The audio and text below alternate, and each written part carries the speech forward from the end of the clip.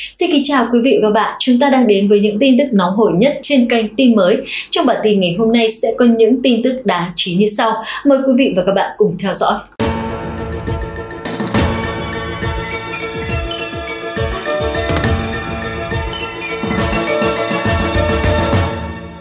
Với những tin tức về lũ lụt kinh hoàng đang diễn ra tại Trung Quốc. Thưa quý vị, kể từ thứ Bảy tuần trước ở Quảng Tây và Quảng Đông đã có mưa lớn, nhiều nơi đã có báo cáo về thiên tai. Chiều ngày thứ Hai, một vụ lở đất đã xảy ra tại một mỏ đá ở Quế Lâm, Quảng Tây, gây ra lở đất khiến hơn 20 công nhân mắc kẹt. Quảng Đông đưa tin hai người mất tích và hơn 80.000 người bị ảnh hưởng. Vào khoảng 13 giờ 30 phút ngày thứ hai, một vụ lở đất bất ngờ xảy ra tại mỏ đá Wang King Cao thuộc Ủy ban thôn Rojang, xã Xin Sui, huyện Tuyền Châu, thành phố Quế Lâm, tỉnh Quảng Tây, khiến 4 ngôi nhà bị đè bẹp và hơn 20 người bị chôn vùi. Tính đến thời điểm hiện tại, đã cứu được một người, hai người chết và 19 người mất tích. Do mưa xối xả liên tục vào cuối tuần qua, lượng mưa ở Quảng Tây đã vượt quá 100 mm không chỉ khiến giao thông bị gián đoạn mà còn khiến mực nước sông Lệ Giang dâng cao, có thời điểm chỉ còn cách mực nước cảnh báo 0,54 mét. Các tòa nhà dân cư tại một khu dân cư ở thành phố Quế Lâm bị ngập lụt với mực nước sâu hơn 1 mét và khách du lịch bị mắc kẹt trong các khách sạn ở ngoại ô. Vào thứ hai mưa lớn đã tạnh, nhưng cơ quan khí tượng cảnh báo rằng có thể mưa lớn ở Quế Lâm sẽ tiếp diễn trong một vài ngày tới. Tại Quảng Đông, mưa xối xả xảy ra ở Thiều Quan và phía Bắc Thanh Viễn vào Chủ nhật, khiến hai người mất tích và hơn 80.000 người bị ảnh hưởng. Mưa lớn đã được cảnh báo tại 4 quận và thành phố ở Kingwan, hơn 30.000 hecta hoa màu bị hư hại, gần 80 ngôi nhà bị sập, sạt lở đất xảy ra trên đường, giao thông và liên lạc bị gián đoạn. Tại Thiều Quan, hơn 90.000 hecta hoa màu bị hư hại, gần 300 ngôi nhà bị sập, nhiều cây cầu và kè bị hư hại. Nhiều ngày gần đây, mưa lớn đã gây ra lũ lụt ở miền Trung và miền Nam Đài Loan. Tại Chu Hải ở Quảng Đông cũng xảy ra mưa lớn. Đây là trận mưa bão lớn nhất ở Chu Hải trong lịch sử 10 năm qua, đã gây ra hơn 10 vụ sạt lở núi, 4.000 người buộc phải di rời do sạt lở đất đất sạt lở, đá lăn từ trên núi xuống đè trúng một số phương tiện trong khu dân cư. Từng nhà của một số người dân cũng bị đá rơi xuyên thủng, nhưng qua ảnh có thể thấy rõ tường của nhà dân này rất mỏng. Mưa lớn cũng khiến các nhà để xe ngầm ở một số khu vực dân cư bị ngập. Các phương tiện không được chuyển đi kịp nên bị ngập trong nước. Kể từ đầu tháng này, nhiều khu vực ở Quảng Đông đã hứng chịu mưa lớn khiến ít nhất 53 người chết hoặc mất tích. Dự kiến trong 5 ngày tới, Trung Quốc đại lục sẽ lại hứng chịu mưa lớn trên diện rộng từ Tây sang Đông. Trong số đó, mưa lớn sẽ bắt đầu vào ngày mai ở khu vực miền Trung và miền Nam. Thưa quý vị, cơn bão số 5 năm nay đã rời Hồng Kông đến khoảng 10 giờ 30 phút hôm nay đã đổ bộ vào bờ biển của Đan Bai, Quảng Đông, Trung Quốc. 6 thành phố bao gồm Chu Hải và Dương Giang đã kích hoạt cảnh báo cấp 2 để sơ tán trước một số người cơn bão số 5 không gây ảnh hưởng nghiêm trọng đến Hồng Kông và các bộ phận liên quan chỉ nhận được báo cáo về các vụ đổ cây và lũ lụt riêng lẻ.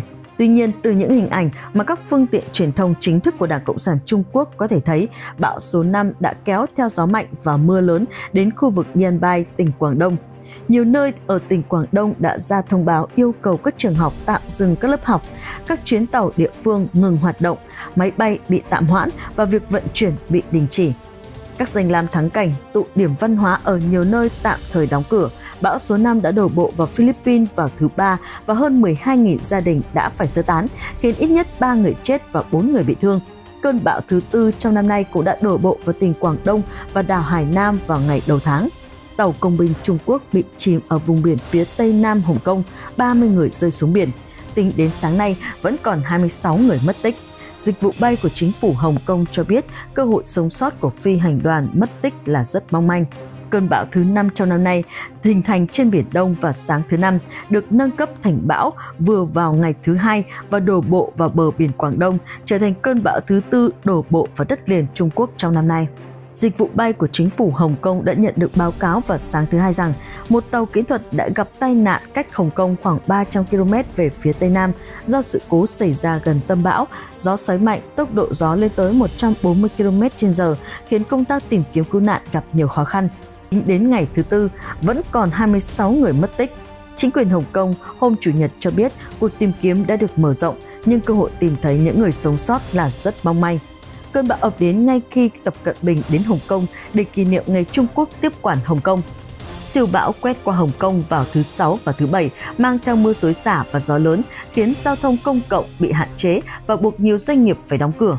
Tiếp nối cơn bão số 5 ngày hôm qua, áp thấp nhiệt đới nằm trên vùng biển phía đông của Philippines cũng đã mạnh lên thành cơn bão số 6 của năm nay. Trong tương lai, nó sẽ tiến về phía bắc đến vùng biển Ryukyu, sẽ ít ảnh hưởng đến Đài Loan. Chuyên gia khí tượng Uderong đã chỉ ra rằng khoảng cách giữa hai cơn bão quá xa để có thể gây ra hiệu ứng Fujiwara. Đài Loan nằm giữa hai cơn bão, mặc dù khả năng bị tấn công trực tiếp là thấp, nhưng hơi nước tăng lên, bầu không khí rất không ổn định. Trong tuần tới, cần chú ý đến sự xuất hiện đối lưu mạnh, đặc biệt là ở phía nam Đài Loan và khu vực phía bắc trung tâm vào buổi chiều, có khả năng có mưa lớn. Thưa quý vị, gần đây, ngoại trừ khu vực phía tây tỉnh Hải Nam của Trung Quốc tiếp tục hứng chịu những trận mưa lớn, ngập úng, hơn 300 ngôi làng bị nước nhấn chìm, 1,3 triệu người bị ảnh hưởng trường học tại các thị trấn ở Hải Khẩu đã đóng cửa nhiều ngày và xảy ra tình trạng khủng hoảng do thiếu lương thực. Đồng thời, một cơn bão mạnh có thể tiến thẳng vào đảo Hải Nam trong vài ngày tới, khiến tình hình địa phương càng thêm khó khăn. Theo các báo cáo, một đợt mưa lớn mới ở Hải Nam đã nhấn chìm 300 ngôi làng và hơn 700 hồ chứa tiềm ẩn nguy hiểm. Hồ chứa Wang Linh ở thị trấn Long Quang, thành phố Hải Khẩu đã gặp nguy hiểm vào chiều ngày hôm qua. Ông Quang từ Long Quang thị trấn nói với các phóng viên rằng địa phương hiện đã hết lương thực. Ông Quang cho biết ở đây nhiều thiên tai lắm, hồ chứa của chúng tôi gần như bị sập, nông dân không có gì để ăn và đang chết đói. Ở đây chúng tôi bị ngập rất sâu, chúng tôi không thể thoát ra được. Gạo và các đồ dùng khác đã bị ngập hoàn toàn và bị nước cuốn trôi trên đường đi của nó. Dân làng và các quan chức chính quyền ở thị trấn Long Tuyền tiết lộ rằng tình hình thiên tai ở địa phương rất nghiêm trọng và các trường học đã phải đóng cửa trong nhiều ngày. Ông Lý cũng cho biết gà vịt cũng bị lũ cuốn trôi, rau và gạo cũng bị chìm trong nước hết sạch. Cơ bản là không có thức ăn để mua, đường xá thì không thể đi lại được. Vào hai ngày trước, tất cả các trường học đều đóng cửa. Một quan chức chính phủ cho biết mực nước trên sông Nandu đã dâng đến tầng 1 và trường học không thể tổ chức các lớp học Chúng tôi đã cho nghỉ hè từ mấy ngày trước và bây giờ chúng tôi không thể ra ngoài. Thiệt hại rất nghiêm trọng, nhiều thứ không thể di chuyển ra ngoài. 50 đến 60 căn phòng bị sập hoàn toàn. Những nơi bị ngập nước, điện và thông tin liên lạc bị cắt và không có nước uống. Theo Cục Khí tượng Trung Quốc, siêu bão số 6 sẽ đi vào khu vực phía đông Biển Đông từ dạng sáng ngày hôm nay đến dạng sáng ngày mai. Trong vài ngày tới, các khu vực ở Hải Nam sẽ có mưa rông lớn, Quảng Đông, Quảng Tây và Phúc Kiến mưa lớn sẽ gây ngập úng và lũ lụt trên núi, sạt lở đất và các thảm họa khác. Kính thưa quý vị khán giả, mưa lớn nhiều ngày ở tỉnh Sơn Tây của Trung Quốc đã dẫn đến một trận lở đất ở đó ngày hôm nay. Mưa lớn nhiều ngày ở tỉnh Sơn Tây Trung Quốc và sạt lở cục bộ đã xảy ra, nhiều tài xế trốn trong hầm đường cao tốc. Theo báo cáo tổng hợp của các phương tiện truyền thông Trung Quốc, tỉnh Sơn Tây đã trải qua mưa lớn trong nhiều ngày. Vào lúc 11 giờ đêm, một vụ lở đất khác đã xảy ra ở huyện Puxian. Một lượng lớn đất đá rơi xuống từ một ngọn đồi ở Wukongyao. Khói và bụi bốc lên từ hiện trường, những chiếc ô tô trên đường ngay lập tức bị trôn vùi hoặc bị đẩy xuống dòng sông gần đó. Vụ lở đất Wukoyao ở huyện Puxian, tỉnh Sơn Tây đã gây tắc nghẽn giao thông trên đoạn Hun Linh của đường cao tốc địa phương. Nhiều tài xế đã trốn trong đường hầm tới 12 giờ. Tuy nhiên, quan chức này không tiết lộ liệu có tài xế nào bị thương hay thiệt mạng hay không và thông tin vẫn chưa được công bố. Văn phòng trụ sở khẩn cấp thảm họa địa chất lớn ở tỉnh Sơn Tây đã đưa ra thông báo cho biết do lượng mưa lớn kể từ mấy ngày trước đó, thành phố Jinhong, thành phố Luliang và thành phố Linfen đã xảy ra nhiều vụ lở đất, sạt lở đất và các thảm họa địa chất khác gây ra thương vong. Kế hoạch cứu hộ khẩn cấp thảm họa địa chất tỉnh Sơn Tây đã được đưa ra sau khi tham khảo ý kiến của các quan chức, người ta đã quyết định bắt đầu ứng phó khẩn cấp thảm họa địa chất cấp 3. Một người đàn ông 54 tuổi lái xe đến suối nước nóng Jesse ở độ cao hơn 800 mét. Trên đường trở về thì bất ngờ gặp phải một vụ sạt lở đường và bị mắc kẹt trong vách đá. Cảnh sát đã làm nhiệm vụ để giải cứu anh ta. Sở Cứu hỏa thành phố Cao Hùng hôm nay cho biết Trang Nan đã một mình đến núi Shawan vào lúc 2 giờ chiều ngày hôm qua để ngâm mình ở sông Bao Lai giữa đường rừng Kikweng. Trên đường trở về, bức tường dốc bị sập và đường bị tắc lúc 2 giờ 54 phút. Cảnh sát từ đồn cảnh sát đã lao qua đống đổ nát và giải cứu khoảng 4 giờ 10 phút chiều ngày hôm sau. Gao Minju, Phó đội trưởng đội 6 của Sở Cứu hỏa cho biết Giang Nan đã lái xe gần 100 km lên núi từ cộng đồng Hải Phong ở Pingtung, nói rằng anh muốn giúp người thân và bạn bè của mình đến thăm suối nước nóng Jesse. Do sạt lở đất và ngủ qua đêm trên ô tô, anh và mọi người được giải cứu sau hơn 12 giờ. Gần đây, Trung Quốc hứng chịu mưa lớn, Chiết Giang cũng hứng chịu mưa lớn, thậm chí gây lũ lụt, sạt lở đất, ít nhất 136 người thiệt mạng và hơn 84.000 người buộc phải di rời để sơ tán.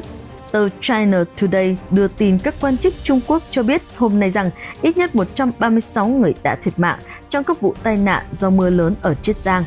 Trước đó, 8 ngôi nhà bị sạt lở và bị vùi lấp, 10 người cũng bị mắc kẹt ở ven biển do sạt lở.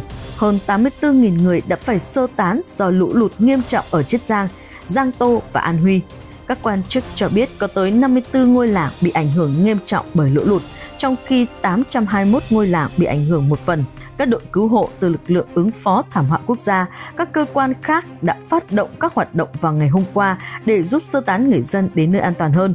Đồng thời điều động máy bay trực thăng đến giúp đỡ những người bị mắc kẹt.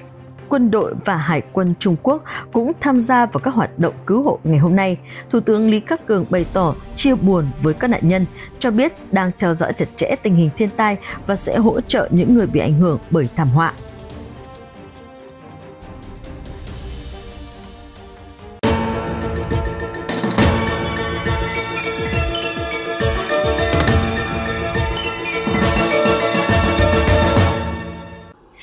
Thông tin vừa rồi cũng đã kết thúc bản tin thời sự tổng hợp ngày hôm nay. Chúng tôi sẽ tiếp tục cập nhật những thông tin mới nhất trong những bản tin tiếp theo. Quý vị hãy đăng ký kênh tin mới để theo dõi. Còn bây giờ, xin chào và hẹn gặp lại.